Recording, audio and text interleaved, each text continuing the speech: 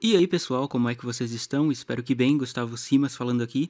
E nesse vídeo eu vou trazer a iMusics, né, essa distribuidora de músicas é, brasileira, pelo que eu verifiquei aqui no caso, né, eles distribuem para todas as pessoas que se cadastrarem no mundo inteiro, mas é uma empresa aparentemente aqui brasileira. E vou trazer aqui alguns recursos que elas têm disponíveis, né, e outras é, features assim. Então, é, caso você seja um selo, né, um artista, uma produtora, uma gravadora, você pode é, fazer cadastro aqui na iMusics, né, não confunda com a iMusician, que é outra distribuidora que eu também tenho um vídeo aí no canal. E no caso eles têm essa ideia, né, de trazer liberdade, ou seja, né, uns contratos assim mais simplificados, né, e todos os benefícios ali de é, de arrecadação, controle direto pelo WhatsApp, isso aqui é interessante, né? Você tem um controle ali de, claro que é um robô que responde, mas você já consegue verificar é, as suas distribuições das músicas, né? Entre outras informações direto ali no WhatsApp com o robozinho deles ali, né? O IM Watts, né? IM Watts. E você consegue distribuir para Spotify, Deezer, Apple Music, YouTube Music, então tem várias outras distribuidoras aí padrão que você consegue fazer a sua distribuição. Né? Então, é, você vem aqui em cima, né, se cadastra de forma como todo site aí, né? Bota seu e-mail, nome completo, depois registra lá, vai no seu e-mail, confirma, e você vai ter uma dashboard mais ou menos parecida com essa daqui, né? Então, a dashboard da iMusic, ela, de certa forma, ela é, parece que ainda não está totalmente finalizada, né? Não está bem azeitada, bem finalizada.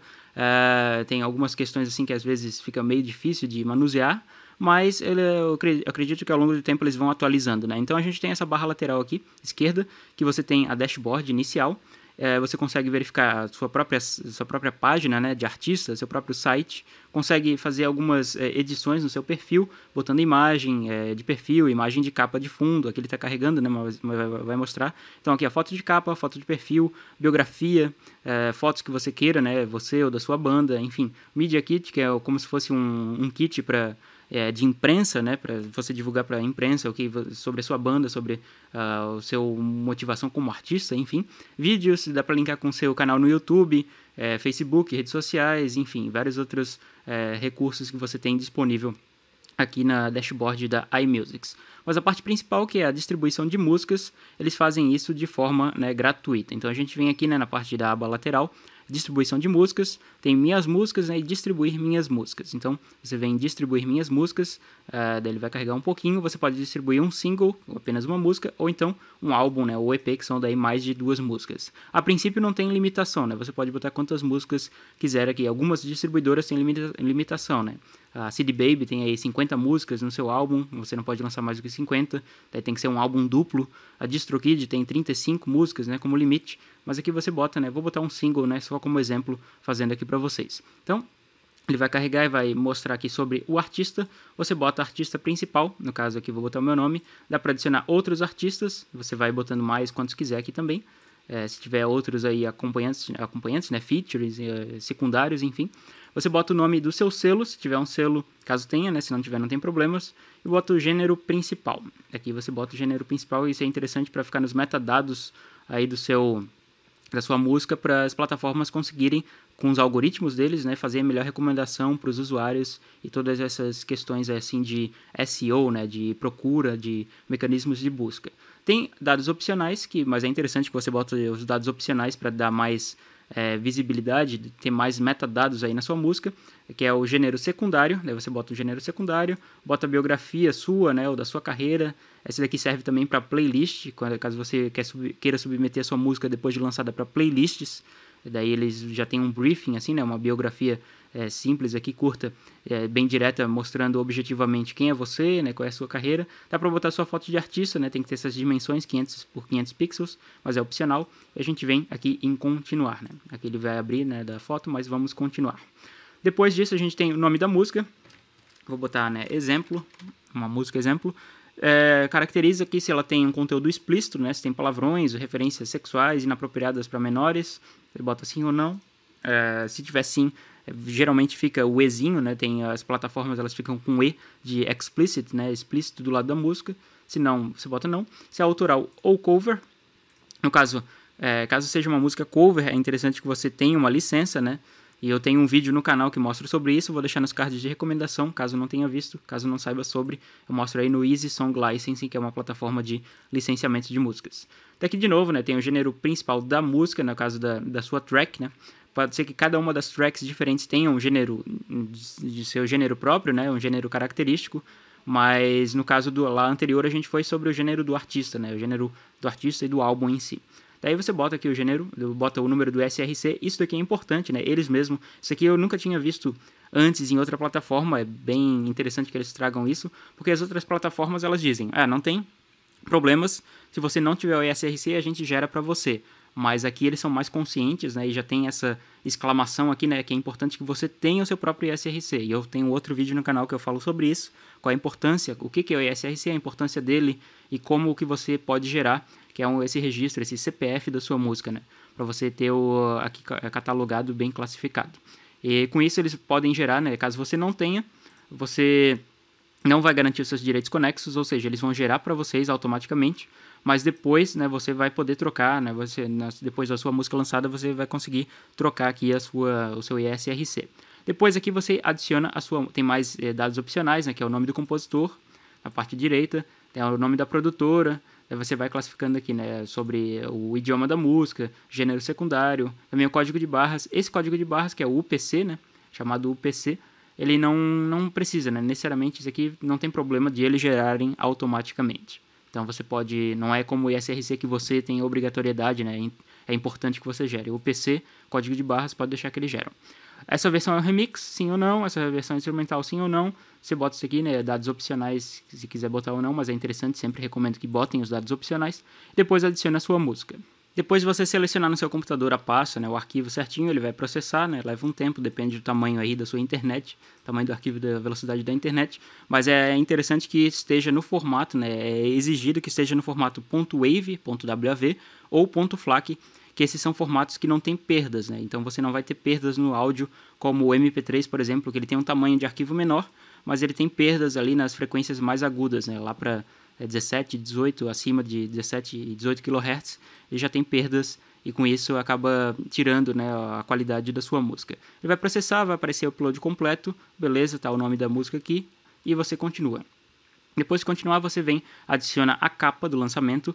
Na capa, é, eu tenho um outro vídeo no canal, eu vou deixar nas recomendações também, que eu falo sobre dicas de capa para OneRPM, que é uma outra distribuidora aí principal que eu também recomendo, né? Mas é, todas as dicas que são válidas lá para OneRPM, eles também são válidas para outras distribu distribuidoras, já que são um padrão aí bem aceito e bem utilizado entre os diferentes sites, né? Mas aí você bota capa aqui, né? É obrigatório ter esses tamanhos, 3000 por 3000, CJPEG, né? Ou JPG. E depois tem as outras plataformas que você seleciona, né? Se são as principais aqui que a gente tem, né? Tem algumas que não são tão conhecidas, e isso é interessante que eles distribuem para uh, outras, uh, outras plataformas secundárias, né? Mas aqui as principais, YouTube, Music, né? Depois lá Spotify, iTunes tem também disponível, né? TikTok também, eh, redes sociais, né? Eles também eh, lançam para essas plataformas. Dados opcionais, você pode lançar um release, que também é uma sobre a história da concepção da música, sobre aí todo como que você criou, o progresso, enfim, também é para questões de editoriais, né, de imprensa, para divulgação, para playlists. Ano da publicação, proprietário do direito autoral, caso não seja você, pode ser uma distribuidora, uma outra gravadora, né, que você tem um contrato ou um selo fonográfico. Uh, e no caso, eles dizem aqui, né, inserir um release aumenta as chances de ser colocado em uma playlist de sucesso. E no caso, essa dica não é válida se o seu lançamento ocorrer em menos de 30 dias, porque eles precisam de um tempo de processamento, de análise, para poder submeter a sua música para playlists, para avaliação. Mas se você quer lançar sua música é, em menos de 30 dias, né, semana que vem ou daqui a duas semanas, é, é impossível né, que eles consigam fazer toda essa análise a tempo. Então são dados opcionais, mas também recomendados. E a data de lançamento, é, sugiro que você bote a data de lançamento aqui, como eles falaram, né, é, em 30 dias. Daqui a 30 dias, até para dar tempo de você fazer a divulgação, para poder eles analisarem e botarem playlists. Mas o mínimo, caso você tenha pressa mesmo e queira é, o mais rápido possível, seriam aqui 5 dias. Então, 5 dias a partir de hoje, eu estou fazendo aqui né, em março. Então, é, é, esse é o mínimo possível. Né? Tem outras plataformas que lançam mais rápido, né, em dois dias, eles prometem em dois ou três dias, mas geralmente é esse o prazo né, para avaliação de aí 3, 4 até 5 dias, né, uma semana no máximo. Se demorar mais do que uma semana para lançamento, para análise, né, aprovação do seu álbum, daí você tem que ficar de olho aí, mandar um e-mail, ir no suporte, verificar e ter é, esses outros contatos. Né? Aqui também, como eu falei, né, vender a sua música, tem plataformas que são de streaming, que são gratuitos, né, você vai ganhando por a cada play, que as pessoas vão dando play ou replay, e tem das vendas que são, no caso aqui de Amazon, né, Google Play Music, iTunes, entre outras plataformas aqui, Set Digital. E cada vez mais eles estão tentando trazer né, mais parcerias com outras plataformas para poder aumentar o alcance aí. E daí você bota o preço aqui da sua música, né, o preço padrão. Você não consegue escolher exatamente o preço, só tem esses, esses catalogados aqui, esses preços aqui já tabelados que você bota, né, o preço baixo, médio ou alto aqui de 1,29 dólares. Claro que depois você não vai receber todo esse valor, tem taxas aí de administração, taxas de transferência do, dos valores, mas é, esse aqui é um preço em médio que é colocado. Depois disso, você bota finalizar, e eu não vou botar finalizar porque é a música exemplo aqui que eu estou fazendo com vocês, mas vai estar disponível, né? Vai ter esse tempo de avaliação e eles vão retornar aprovando ou não a sua música. E depois de um tempo você vai conseguir verificar aqui nas estatísticas, né, na ver dados analíticos, depois dados financeiros também de quanto você recebe e tem outras, uh, outros valores aí, outros recursos disponíveis. Não dá para apresentar tudo aqui, né? Mas é só uma, uma visão geral da iMusics. Tem outros links úteis que eles mostram aqui, né? Como cadastrar dados bancários, associações do ECAD, tem Papo de Música, que é um, aqui um blog, né? Eles trazem outras informações também sobre, é, sobre aí o mundo da música, em questões que você pode fazer de marketing também, né? Após lançamento, como que você pode manter a sua música em playlists, entre outras questões. Então tem tudo aqui, né? Interessante que eles trazem é, mais recursos para os artistas e cada vez mais essas distribuidoras não querem ser só distribuidoras, né? Porque que lança a música e pronto. Eles querem fazer uma gerência também, né? E dar dicas para os artistas e fidelizar né, esse pessoal, é, artistas e bandas, para continuarem nas plataformas utilizando e trazer recursos diferenciados. Então aqui né, não vou mostrar outros recursos, mas fica a dica, fica a sugestão. É, tem planos diferentes, né? Como eu falei, tem um plano free. Quer dizer, eu não falei exatamente né, os planos, mas eu mostrei que tem um plano gratuito, que você tem aqui o Smart Link, que é um link disponível para as pessoas fazerem o pre-save né, da sua música antes do lançamento, é, portfólio completo, a, a, dados analíticos mais simples, mas caso você queira algo mais avançado, tem um plano básico, né, R$ 29,90 por mês, que daí tem mais aqui site profissional, você tem é, suportes aí para editoras, tem mais destaque. E o plano premium, que a diferença mais do plano premium é o marketing, né? Que seria aqui o último item, que é o marketing para lançamentos que eles acabam fazendo. Então, é, cabe a você avaliar, né? Verificar mais ou menos quanto que você deseja, né? Qual é o seu propósito aí no lançamento da sua música. Você pode testar alguns aqui, né? De, de sugiro que acabe primeiro verificando o plano gratuito para ver se a plataforma atende às suas necessidades também faço uma comparação, né? Eu vou deixar também na, aí nas recomendações tem outro vídeo de comparação de distribuidoras. Eu tenho que atualizar, aliás, porque eu não, não trago outras distribuidoras novas, né? Como a iMusic ou a iMusician, mas tem aqui, né? Para vocês, é importante vocês verificarem uma distribuidora e tentarem ficar com ela assim para durante todos os seus lançamentos, né? De toda a sua carreira aí. Então espero que tenham gostado, deixem like no vídeo, inscrição no canal que isso ajuda a ter visibilidade a quem tem interesse nesse tipo de conteúdo. Qualquer dúvida, crítica, mais ideias, só deixar nos comentários aí. Até a próxima. Valeu!